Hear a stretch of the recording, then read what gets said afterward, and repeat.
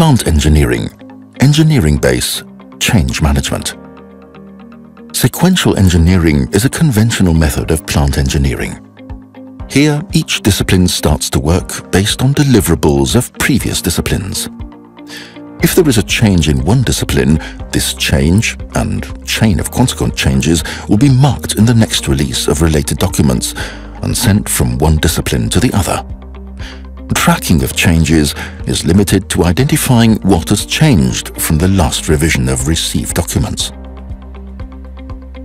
In parallel engineering, which provides more than 50% efficiency increase, all disciplines work on the same project data model and documentation to complete it. Here, simple changes are consistent immediately in all disciplines, and advanced changes will go to change workflow procedure. In parallel engineering, it's possible to see the changes from the last revision, but also possible to manage versions and status of objects, see details of history, track changes in configurable lists, freeze diagrams to prevent unintended changes, work on parallel alternatives without changing the real data, and create parallel scenarios. Each of these points will be explained in this video. Change management has two main categories. The first one is to get information about the changes that happened before and track the history. And the second one is to suggest changes to happen in future.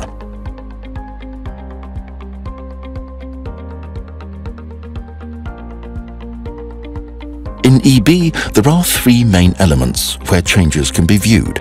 Plant data model, data model representation on diagrams, and lists view of the data model.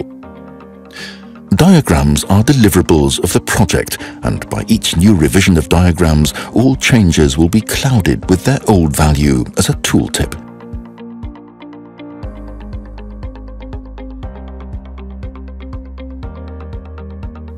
This is done by revision management, either on the complete project or on a batch of selected diagrams.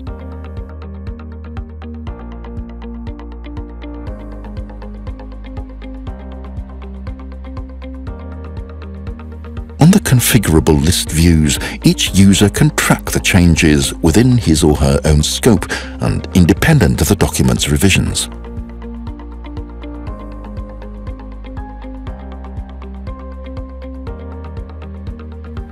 Next is the object history in the plant data model.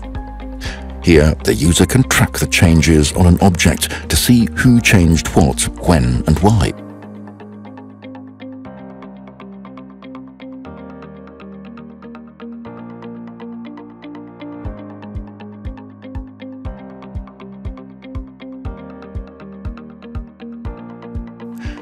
So this was about tracking of what happened in the past.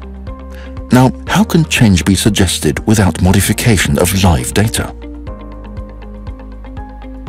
You have to remember that in a model-driven engineering platform, all changes are by default immediate, consistent and persistent in all diagrams and reports of all disciplines.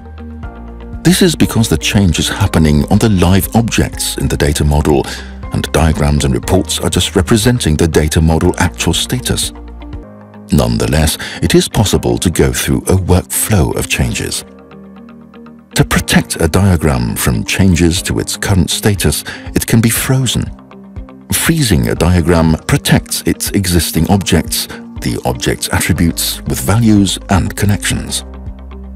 This diagram is still open for adding new objects and connections, and to add values to the attributes which are not frozen.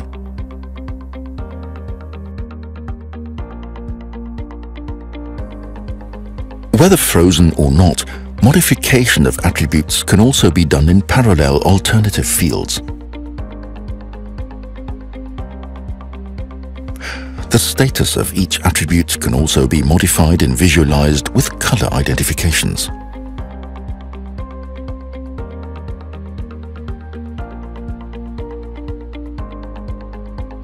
The other situation is to modify objects. This can include object attributes or adding or deleting objects. One possibility is to use object cases. Cases are alternative states of the same object. Their attributes can be case-dependent or can be inherited from the main object. One case can eventually be accepted and merged into the main object. The other possibility is to use special status attributes of objects. For example, if a frozen device should be deleted from the data model, its status can change to to be deleted, so it can be deleted in the next iteration when it will be unfrozen. To learn about engineering workflows in various disciplines, watch the next videos.